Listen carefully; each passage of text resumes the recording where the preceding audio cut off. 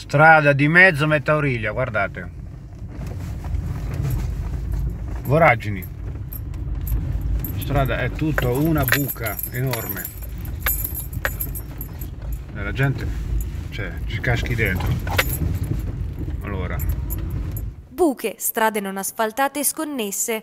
Dopo le numerose segnalazioni arrivate alla nostra redazione nei giorni scorsi dai nostri reporter, abbiamo deciso di constatare di persona in quale stato riversano le strade fanesi. Numerose segnalazioni venivano da località Metaurilia. E siamo venuti qua in strada comunale di mezzo che come potete vedere dalle numerose buche e pozzanghere alle mie spalle riversa in totali condizioni di degrado per sentire l'opinione di chi la percorre quasi tutti i giorni.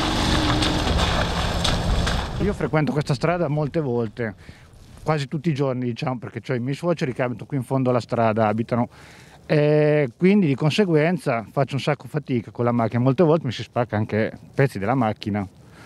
Quindi come me penso che in questa difficoltà si trovano molte altre persone. Qui abbiamo più di un chilometro di strada, tutta piena di buche. Allora, durante il giorno si fa abbastanza fatica, la notte quando non c'è neanche l'illuminazione è un disastro. Io spero che primo cittadino sindaco ne prenda proprio a cuore questa situazione perché anche d'estate è sempre frequentata da ciclisti, da persone che fanno running e anche da persone che vanno a passeggio.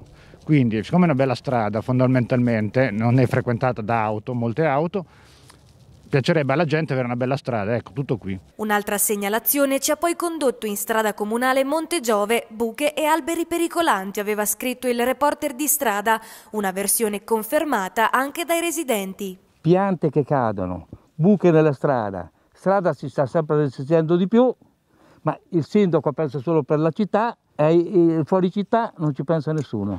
Strada è molto stretta, la gente cammina come i pazzi con le macchine, non c'è nessun limite di velocità, non c'è proprio niente.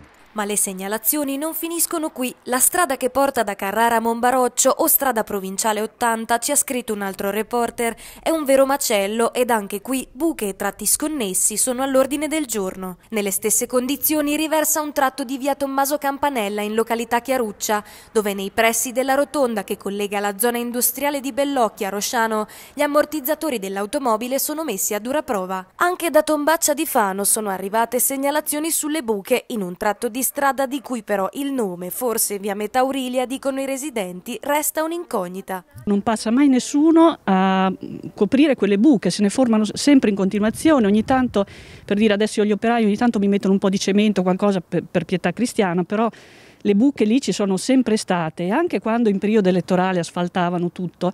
Hanno asfaltato tutta la via là dietro, eh, via Meteorici, per cui noi eravamo speranzosi, siamo andati a dirlo proprio agli operai mi hanno detto guardi noi qui più che buttare un po' di sabbia non possiamo perché non siamo autorizzati. Cioè, quindi questa via che oltretutto ha un nome ma eh, non ci trova mai nessuno perché non c'è né il cartello né niente, eh, questa via qui è abbandonata a se stessa. Ieri durante la puntata di Primo Cittadino il sindaco di Fano Massimo Seri ha ascoltato molte delle richieste dei segnalatori e dei residenti e si impegnerà a verificare le varie situazioni.